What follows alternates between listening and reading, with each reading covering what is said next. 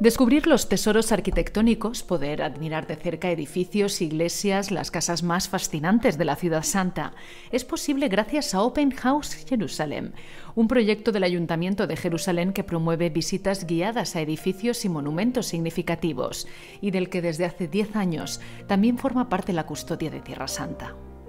Estamos en el convento de San Francisco, en el cenáculo, en el Monte Sión, que suele estar cerrado al público, especialmente durante estos años de COVID, cuando ni siquiera han venido los grupos. Abrimos la puerta del convento. Ya ha venido un centenar de personas, todos israelíes, con mucha curiosidad por saber un poco de este lugar, un poco de los franciscanos, del cristianismo.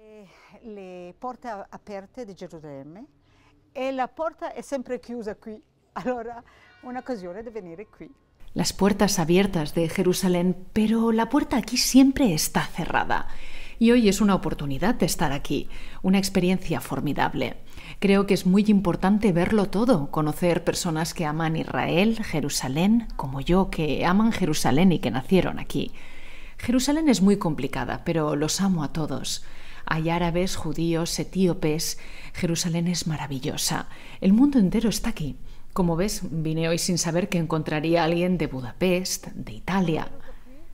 Senza sapere niente, e era qualcuno di Budapest.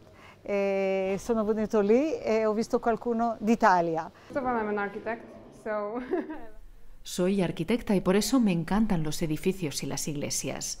Siempre me han atraído las iglesias, por lo que cuando supe que estaban abriendo esto por primera vez me apresuré. No sabía que era exactamente así, siempre pasaba y estaba cerrado, una oportunidad única para admirarlo.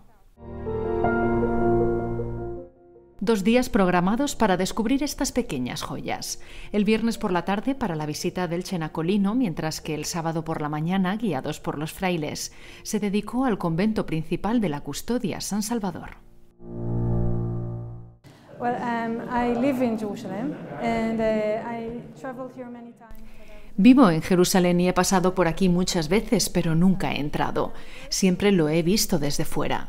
Tenía mucha curiosidad. Me gustan mucho las iglesias, los edificios antiguos. Estaba tan feliz de ver este lugar abierto. Es hermoso. Estoy muy impresionada con esta capilla porque es tan moderna. No lo esperaba. Todo es hermoso.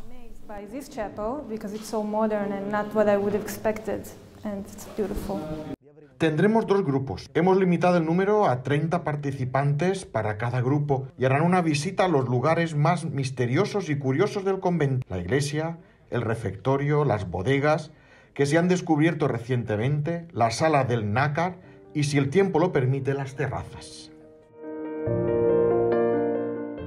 Visitar lugares franciscanos no solo es una oportunidad para conocer nuevos lugares, sino también una oportunidad para tener una experiencia casi desconocida para la mayoría de los presentes.